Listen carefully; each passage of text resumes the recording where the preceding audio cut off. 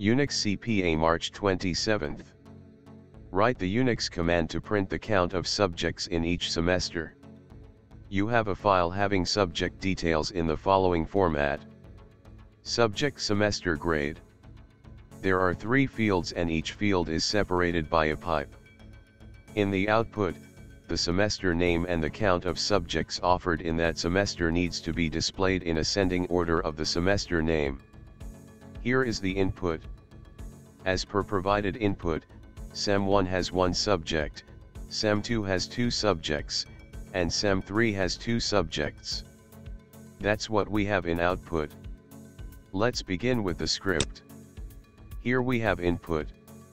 To take input we use read keyword. One read keyword, reads only one line from console. To read all the lines we use while loop. And store it in string s for displaying, we use echo keyword, let's echo and check.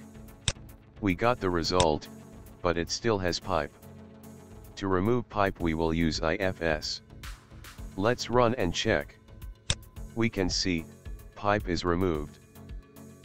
Let's take variables, each for a semester, and initialize them to 0. Let's take an array, a, and store, s, in it.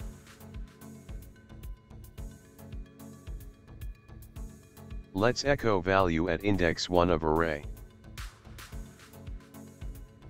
As we can see in the output, semester of index 1 is displayed.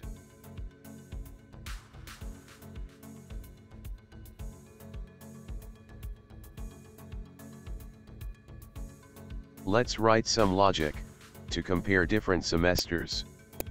If value at index 1 is equal to, sem1 then increment sem1. Let's echo sem1 and check.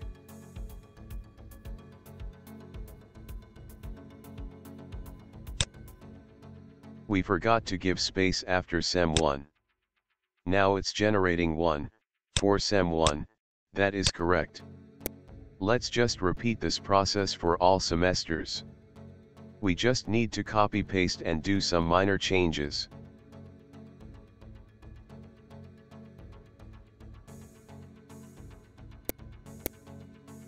Now we will check if the values of semesters are greater than 0, then only we will display them.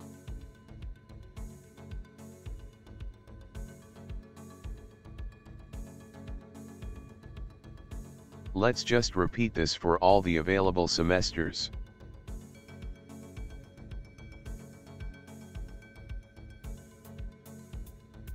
Let's run and check. The output is correct but, it is not having semester number.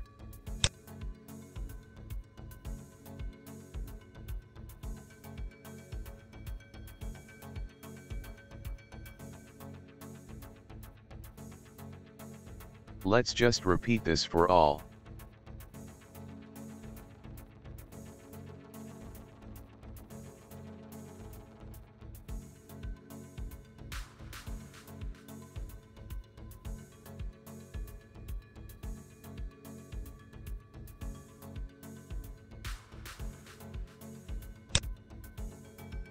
Output is correct, it just needs some space.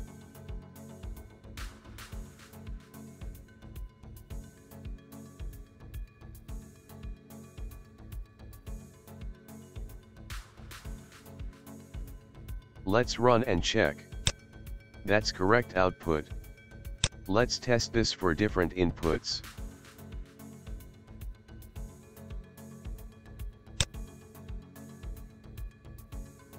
That's also correct. Let's change the semester number and check.